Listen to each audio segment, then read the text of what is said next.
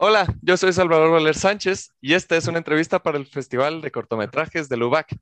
Estoy con el gusto de tenerte aquí, claro, con Luis Palomino, director de A Plena Vista. ¿Cómo estás? Muchas gracias por asistir.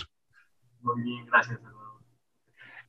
Gracias, gracias. Eh, oye, eh, quisiera preguntarte eh, lo más importante, ¿no? tu corto, A Plena Vista. ¿Me podrías platicar de qué trata para aquellos que no lo han visto?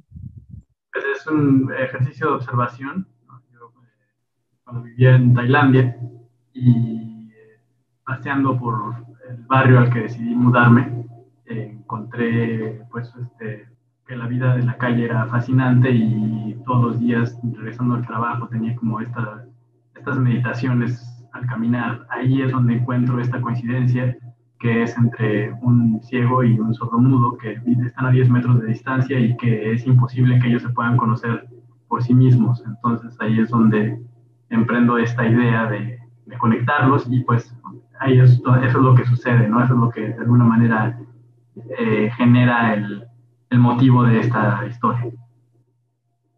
Ok, este, interesante. Oye, ¿me platicas, vivías en, en Turquía? ¿Ya no estás ahí actualmente? Tailandia. En Islandia, perdón. Tailandia. Tailandia. Ay, perdón, es que el audio se... en Tailandia. Entonces, ¿ya no estás ahí actualmente? No, ya no, ya vivo en México. ¿En México? Ok. Y me imagino que pues México, Tailandia, un choque de culturas enorme. Eh, es una historia bastante interesante. ¿eh? esperamos verla ya en, en el Festival de Cortos cuando sea transmitida.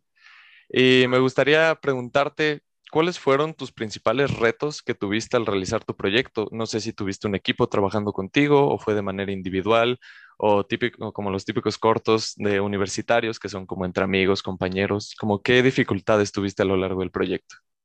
Pues realmente este corto fue totalmente autogestionado. Fui armando mi equipo, ¿no? Este, la fotógrafa actualmente es mi novia y en ese momento tenía igual amigos locales que me ayudaron con el tema de la producción este, sobre todo por la barrera del, idioma, ¿no? que yo no hablo tailandés, entonces era como más difícil poder comunicarme con, pues, con los personajes, este, aunque hablaran inglés, pero yo también quería como hacerlo en, la lengua original, entonces pues ahí fue como se unió el equipo, este, pues actualmente todos los que colaboraron en el corto eh, se dedican profesionalmente a la producción de cine y de televisión. Ok, entonces podríamos decir que realmente las dificultades fueron de cultura y lenguaje, porque parece ser que tu equipo, pues, era un equipo que estudió para lo que hizo, ¿no? Sí, sí, realmente, eh, pues también las limitaciones este, económicas, ¿no? Pero fuera de, eso, eh, ahora sí que en términos de equipo no tuve problemas, ¿no? Sí están como todos muy capacitados y entendían de, qué se trataba ¿no? el proyecto.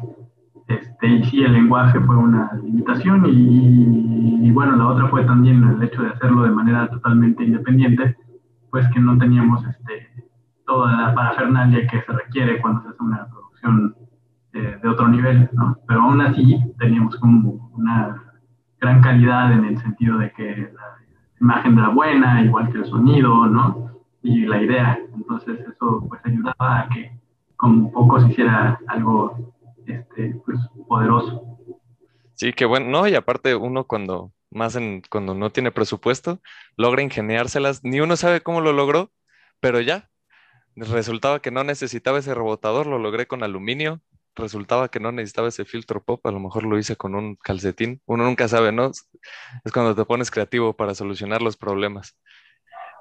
Exactamente. Sí, bueno, aquí eh, nosotros ya estábamos trabajando profesionalmente como realizadores y teníamos acceso a, pues, al equipo, ¿no? A, ciertas como eh, tecnología que nos hacía más fácil la vida. Pero bueno, de todas formas, siempre ¿no? surgen cosas que uno no toma en cuenta y que tiene que resolver sobre la marcha. Sí, sí, sí, sí, me imagino. Oye, nos platicabas sobre que en tu viaje viste a estas dos personas que, como dices, a plena vista no se podían conocer. Eh, ¿Cómo fue el proceso creativo de llevar esa idea al cortometraje, a la pantalla? Pues realmente fue como una verdadera lección de vida y, de hecho eso trata el cortometraje, ¿no? El cortometraje finalmente trata acerca de la aceptación.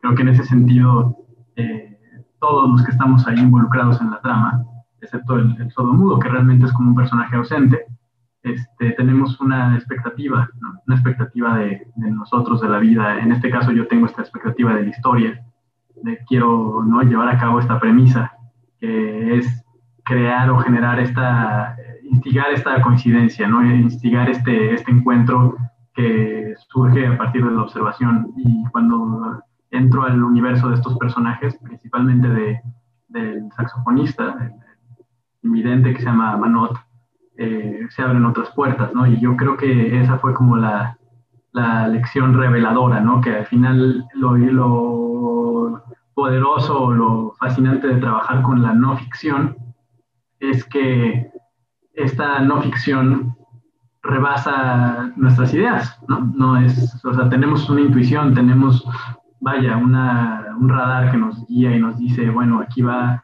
a suceder algo, aquí hay una historia, pero de eso a poder escribir como el final de esa película no es, pues es poco probable, y si, si, y si lo haces es porque ya realmente, pues ya se convierte en una intervención de parte del, del, director, o puede ser mucha suerte, ¿no? Que realmente dijiste, esto, esto va a pasar y eso pasa.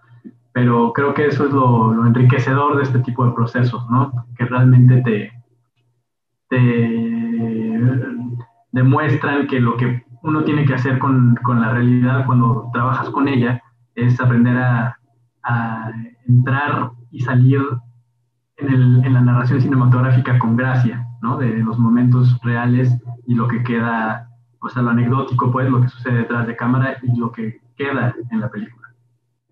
Sí, sí, sí, claro. Oye, y nos habla sobre este sentimiento, este mensaje. ¿Qué, ¿Qué esperas que se lleve la gente al ver tu cortometraje? Digo, tú mismo lo dices, yo generé la intervención, sin embargo, no quise intervenir yo, nunca supe cómo iba a terminar. Pero ya que tienes tu proyecto terminado, ¿qué mensaje te gustaría o esperas que se llevara la gente al verlo? Pues mira, el mensaje que me gustaría que la gente se llevara es entender, o no entender simplemente como saber que todas estas personas que eh, están a plena vista, que viven en la calle, que están enfrente de nosotros, pues que guardan una humanidad muy grande y que realmente siempre tienen algo que decirnos, ¿no? Que, son pues ahora sí que tan valiosos como alguien que se para en un salón de clases o en, en un curul o en este, una tribuna, ¿no? Que todos, o, o, en un programa de televisión, todas estas personas que están, este, eh, ahora sí que en el margen, eh, tienen también algo valioso y algo humano y cosas de las cuales podemos aprender y enriquecer nuestros procesos humanos y vitales, ¿no? Entonces, e, ese sería quizás como lo que me gustaría que la gente pudiera percibir de esto, de este, de este ejercicio. Ok, este, bueno, eh, cerramos ya la entrevista con una despedida. Eh, muy grato el poder recibirte aquí en la entrevista en el festival y esperamos verte pronto eh, de nuevo, es cada año, entonces ojalá y puedas participar, te vuelvas alguien recurrente con nosotros. Vale, muchas gracias. Muchas gracias a ti.